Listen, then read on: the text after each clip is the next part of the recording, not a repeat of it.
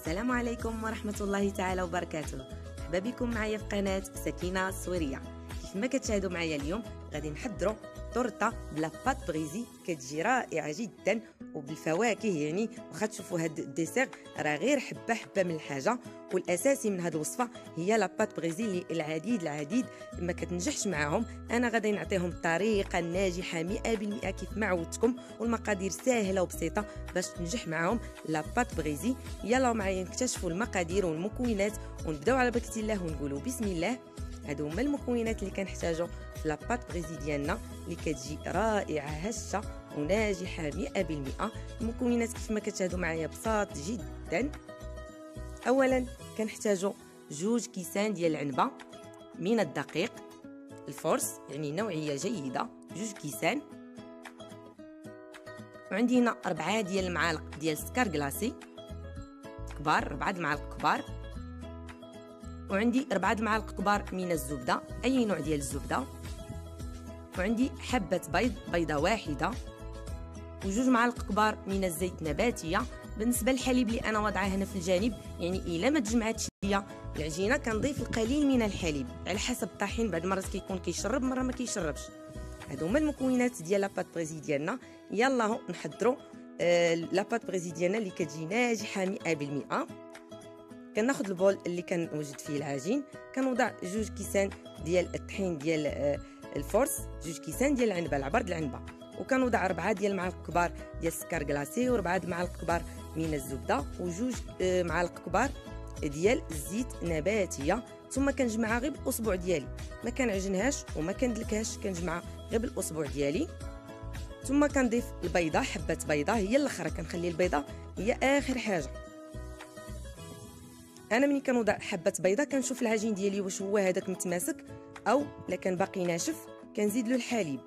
كان باقي خاصو الطحين كنزيد له الطحين يعني العجين كيجي متماسك ماشي قاصح وماشي رطب لأنني منين غادي نجمعو؟ غادي نوضعو في كيس بلاستيكي وغنوضعو في الثلاجه لمدة نصف ساعة لأن فيه الزبدة حتى يتجمع ليا عاد نبدأ نخدمو. بعد ما وضعته نصف ساعة في الثلاجه كنخرجو كيكون تماسك ليا كيف ما كتشاهدوا كنوضع واحد آه الورق ديال المطبخ بابي كويسون على آه سطح العمل وواحد من الأعلى. واللي ما توفرش على هاد آه بابي كويسون ممكن ندير أي كيس بلاستيكي. ثم كنطلقها بالمدلك كيف ما كتشاهدوا وكنجيب الصحن ديالي المول اللي غادي نخدم فيه. وكنشد العبار صافي هي هذيك وكنلفها في الدلاك باش تجيني ساهلة باش نطلقها هي راه كتكسر واحد شوية ولكن راه ساهلة ملي كنجي نجمعها نخدمها في في المول. كتجي ساهلة. أي مول ممكن ديروا زجاجي أو ديال الحديد. الأساسي من هذه الوصفة هي طبقوا الطريقة ديال la pâte brisée ديالنا اللي كتجي ناجحة مليون بالمئة.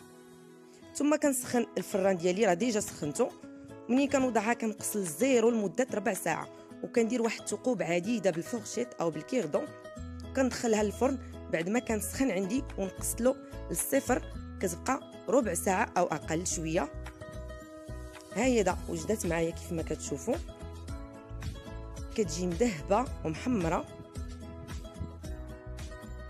والآن دابا غنمروا نشوفوا ال dessert آه، اللي غنوجد بها كيف ما كتشوفوا ال dessert عندي تفاحة وحدة آه، موزة واحدة. حبه avocat حبه كيوي القليل من الفراولة. خوخ مشماش اللي متوفر عندك سيداتي. يعني كتحتاجي غير حبة حبة. داكشي اللي كيبقى لك في ال dessert في الدار ما كاين شي يعني يضيع. كنحتاجو أنا فيما كتبقى ليا حبة حبة من ال dessert. كنوض كنوجد هاد التورتة كتجي رائعة. ما كنقدمو كتحلية. كيجي كتحليه هاد التورتة هادي. بعد ما كملت التقطيع ديالو كندير له قليل من عصير الليمون باش ما يتأكسدش وما يكحلش معايا ال dessert. بيد ما نوجد آه crème pâtissière ديالي. كيف ما كتشوفوا كلكم كتعرفوا تحضروا على crème pâtissière ولكن غنحضروا قدامكم. كنحتاج هنا يعني نصف لتر من الحليب. أنا دائما كنخلي شوية ديال الحليب باش ندير فيه النواشف عندي هنا ثلاثة المعالق كبار ديال كريم باتيسري. وعندي آه، أربعة أو ثلاثة ديال المعالق كبار ديال السكر. السكر على حسب يعني ممكن تنقصي ممكن تزيدي. كيف ما عودتكم دائما النواشف كنحركهم بوحدهم في واحد الزليفة ولا الكويس عاد كنضيفهم الكاسرون كيف ما كتعرفوا راه كتعرفوا توجدوا كريم باتيسري ولكن قلت علاش لا ما نوجدهاش قدامهم. يعني كتكون النار مهيلة مع التحريك ثلاثة د المعالق كبار د la crème pâtissière مع نصف لتر من الحليب والسكر على حسب الذوق ها هي دا وجدات ليا. مع التحريك المستمر والنار تكون مهيلة. كنصبها فوق la pâte brisée ديالي وكنخليها واحد قل من خمسة ديال الدقائق غير شوية غير بيد ما ما تبقاش سخونة وعاد نحط ال dessert مباشرة غير واحد شوية. بيد ما يبرد ليا غير واحد شوية. تخليوش تيعقد غير شوية. عاد باش غادي ناخذ الفراولة ديالي اللي قطعتها هاد القطع. بالنسبة اللي ما توفرتش عنده الفراوله ممكن يدير الليمون يدير الخوخ يدير المشماش يعني هذه كتبقى مرحلة آه، ديال التزيين. يعني كتبقى لك سيداتي هذه المرحلة. زينيها باش ما بغيتي. الأساسي كيف ما قلت لك من هذه الوصفة هي la pâte ديالنا اللي كتجي ناجحة جدا. أما بالنسبة للنوعيه ديال ال dessert اللي استعملت أو طريقة التزيين تيبقى اختياري. وزينيها باللي موجود عندك سيداتي راه كتجي رائعة. أما لاباط آه، بلا ما نهضر عليها كتجي مقرمله شيشة. يعني كاع الوصفات كيجيو فيها كتجي رائعة جدا وناجحة 100% كيف ما كتشاهدي معايا عندي حبه الكيوي حبة ديال البنان حبة أفوكا حبة ديال الليمون حبة ديال الخوخ حبة من كل حاجة. حتى كنحصل على واحد الطورطه كتجي رائعة. وكتجي يعني سهلة في التحضير ديالها ما كتكلفش آه، الوقت بزاف وما كتكلفش المصاريف بزاف. كيف ما عودتكم دائما على الوصفات الاقتصاديين عفوا والوصفات الساهلين والناجحين 100% كيف ما كتشاهدي معايا سيداتي الطريقة ديال التزيين راني آه، يعني من الاختراع ديالك. هذا القشور ديال الكيوي كنلفهم باش نصنع بهم واحد الوريضة في الوسط.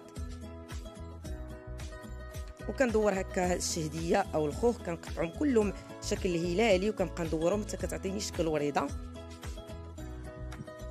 أنا رشيت عليهم شوية ديال عصير ديال الليمون باش ما يتأكسدوش ليا لأنني وجدتهم قطعتهم قبل بيد ما حضرت الكريم باتيسري ديالنا. باش كيكون كلشي عندي واجد في ان واحد وغنوريكم واحد الطريقة ديال باش تحصلوا على واحد الشكل ديال التفاحة كيجي بحال الجناح. كيجي بحال الجناح ديال ديال العصفور. شاهدوا معايا هذه أنا كنت غادي نصيبها ونحطها وقلت لا علاش ما نشاركش معاهم هاد الطريقة. كنبغي نشارك معكم كل شيء المراحل كاملين. ما كنخبي عليكم حتى حاجة باش تجيكم الوصفة. كما هي تقدروا تشوفوا الطورطه وتقولوا كيفاش آه، داك داك التفاحه اللي كانت محطوطة كيفاش صيباتها. ما كنبغي نخبي عليكم حتى حاجة. كناخذ واحد الربع ديال التفاحة غير بيع. ثم كيف ما كتشوفوا كنضرب من هاد الجهة ونضرب من الجهة الأخرى. بحال غنقسم مثلث وكنعاود عاوتاني وحده أخرى من الوسط. كنحركها غير شوية بالاصبع ديالي يعني ما كنضربش حتى الأخر غير شوية. ثم كنعاود نضرب الثانية ثم الثالثة. كنتمنى الصورة تكون واضحة والشرح أوضح. حتى كنحصل على واحد كيجي بحال بحال واحد الجنيوح دابا تشوفوه معايا كيجي واحد الشكل رائع جدا. شكل هندسي. هذه كتبقى مرحلة تزيين ليك سيداتي. ممكن تستعيني غير بفاكهة واحدة وتعمري بها الطورطه ديالك. إلا ما كنتيش كتحبي هاد الأنواع ديال الفاكهة ممكن ديري فاكهة وحدة متوفرة عندك. كيف ما كتشاهدي معايا كتجي رائعة. كنكمل بها التزيين ديالي. مع أن التفاح ما يمكنش نديرو في هاد الطورطه دغيا كيتأكسد درت غير هاد هاد جوج حصص. ثم كندهنها بقليل من ال nappage أو ال confiture باش كتعطيني واحد اللمعة وكتحافظ الطورطه ديالي ال dessert ديالها كيحافظ على الطراوه وعلى وعلى اللمعة ديالو. وبحال واحد الغلاف كيبقى واحد الغلاف يعني باش كتبقى حتى باتت كيبقى داك ال dessert في اللون ديالو في النكهة ديالو. اللي ما توفرش عنده nappage ممكن يدير ال confiture كما كتشاهدوا كتجي الطورطه ديالنا رائعة جدا وما كتطلبش وقت بزاف وما كتطلبش مكونات بزاف.